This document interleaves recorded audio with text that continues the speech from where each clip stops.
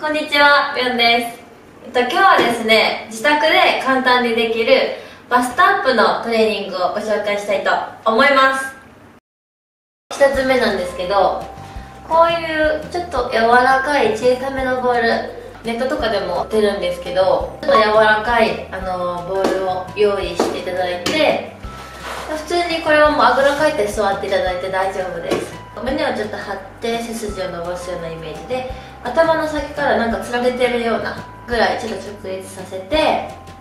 上体をしっかり固定させてで胸のちょうどこの中心部にボールが来るように両手で挟んでもらってこういうグーってやるあのバストアップのとかあったと思うんですけどこれにあのより負荷をかけるためにちょっと柔らかめのボールを使ってやるんですけどこれを思いっきりグーッと自分の入れる力マックスをグーッとボールを潰すようなイメージで押します。これはだいたい10秒から15秒ぐらい。胸にあの力がかかってるのをイメージしながらグーッと押します。で10秒15秒経ったら1回休憩して5秒インターバル取ってもう一回またグーッと押します。これを5セットぐらいやってほしいです。10秒から15秒ぐーっと押してで5秒インターバル休憩してまたぐーっと押す。中心部に負荷がかかるのでこのバストアップにはボールも活用できるのでぜひやってみてください。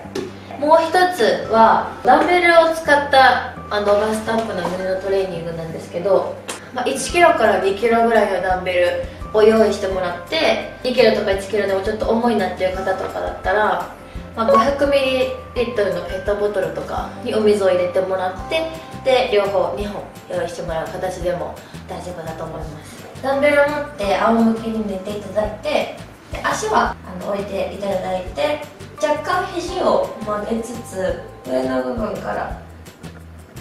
開くイメージで下まで下げすぎずにここからまた上に戻します。で戻す時はこのままあの垂直に戻すのではなくてこの自分から遠い方のこのダンベルの端を合わせるイメージで上げてきてほしいです。スタートはこうグッと上げてきて着地がこういう逆ハの字になるような形で止めてください。ゆっくり。胸に負荷を感じながらまた上にやります。これも大体20回ぐらいをやっていただいてできればこれも4回から5回ぐらいセット数をやってほしいです。ボールは中心部だったと思うんですけどこのダンベルのフライはバストの下部に効果があるのでしっかり筋肉を発達させてあげてバストアップにつなげるっていうのおすすめのトレーニングです。ぜひぜひやってみてください。ということで今日は自宅で簡単にできるバストアップのトレーニングをご紹介しました。またね